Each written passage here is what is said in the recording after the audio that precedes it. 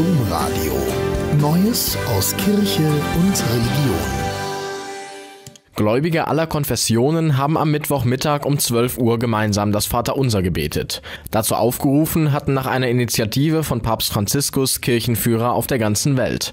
Auch die evangelische Kirche in Deutschland, die anglikanische Kirche in Großbritannien und der ökumenische Weltkirchenrat in Genf haben die Initiative unterstützt. Das Gebet von Franziskus wurde aus der Bibliothek des Apostolischen Palastes als Videostream übertragen. Mehrere Kirchenvertreter haben sich direkt per Livestream in den sozialen Medien an die Gläubigen gewandt und gemeinsam mit ihnen gebetet. Darunter auch der Erzbischof von Köln, Rainer Maria Kardinal Wölki. Ich möchte in dieser Stunde vor allen Dingen auch an die denken, die schon krank sind und an die vielen Toten und Verstorbenen in der ganzen Welt. Fast 20.000 sind ja von dieser Seuche schon heimgeholt worden. Und Italien, unsere Schwestern und Brüder dort sind in besonderer Weise betroffen Dort versterben manchmal an einem Tag, Sie haben das alle mitverfolgt, 800 Menschen, 700 Menschen, 600 Menschen. Es ist einfach furchtbar. Wir wollen sie nicht alleine lassen. Wir wollen für diese Menschen beten. Und wir wollen beten für die Hinterbliebenen, die damit fertig werden müssen, dass sie jetzt einen lieben Menschen verloren haben. Am Freitag wird Papst Franziskus dann den apostolischen Segen Orbi et Orbi der Stadt und dem Weltkreis in einer bisher beispiellosen Form vor dem leeren Petersplatz spenden. Papst Franziskus ruft per Video Gläubige aller Religionen zum Gebet angesichts der Corona-Pandemie auf. Beten wir gemeinsam für die Kranken und für die Leidenden, heißt es in dem einminütigen Beitrag, der am Dienstag mit dem Twitter-Hashtag Pray for the World, betet für die Welt verbreitet wurde. Darin wendet sich Franziskus mit einem alten Mariengebet an die Gottesmutter.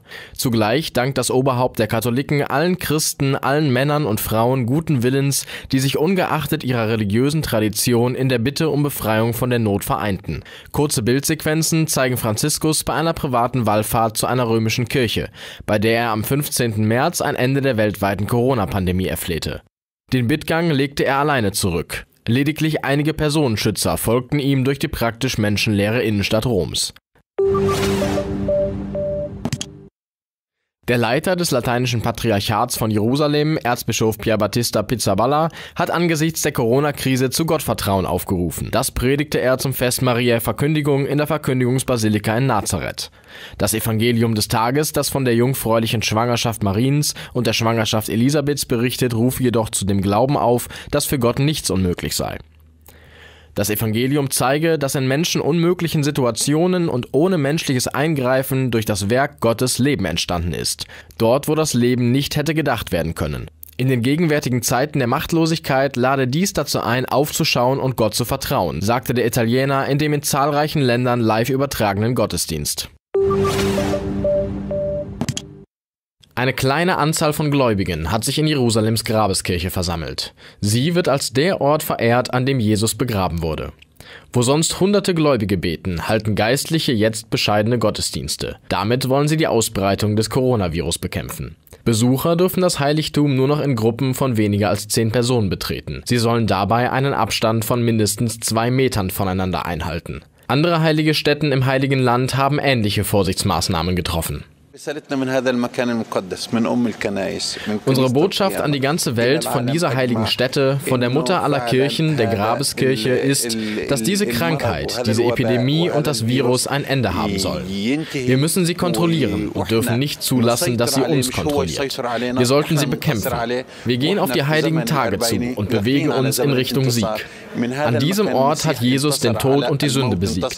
Hoffentlich wird die ganze Welt gegen dieses Virus gewinnen. Wir beten beten für sie. Die Al-Aqsa-Moschee in Jerusalem, die drittheiligste Stätte des Islam, hat die Freitagsgebete auf die Außenbereiche des Moscheegeländes verlegt. An der Klagemauer der heiligsten Stätte im Judentum, an der Juden beten dürfen, haben die religiösen Autoritäten die Gläubigen angewiesen, keine Massengebete zu halten. Außerdem dürfen die Steine der Mauer nicht mehr geküsst werden.